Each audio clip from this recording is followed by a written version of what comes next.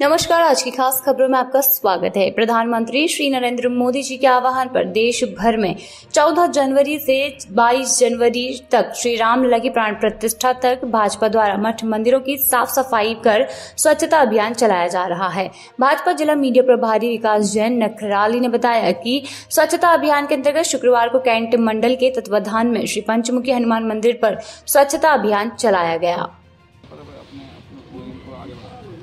यशस्वी प्रधानमंत्री नरेंद्र मोदी जी के आह्वान पर पूरे देश में स्वच्छता अभियान चलाया जा रहा है।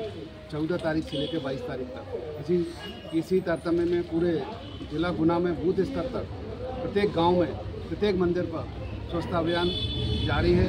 आज इसी तारतम्य में यहाँ दुर्गा मंदिर पर नगर मंडल के द्वारा स्वच्छता अभियान रखा गया था। मंदिर की परिसर की हमने सभी ने मिलकर साफ़ सफ़ाई की और देश में जो कि 22 तारीख को, साढ़े पाँच सौ वर्षों बाद जो हमारी तपस्या सफल हुई है, राम लला उस दिन विराजमान हो रहे हैं। प्रत्येक का कार्यकर्ता, ज़िले का आम नागरिक, उस दिन दिवाली मना रहा है, हर्षोल्लास है।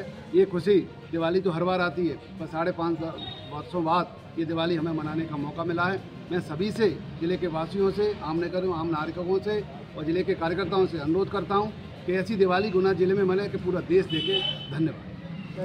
जिला गुना से नरेंद्र कुशवाहा की खास रिपोर्ट और भी खास जानकारी के लिए जुड़े रहिए टीवी न्यूज़ के साथ।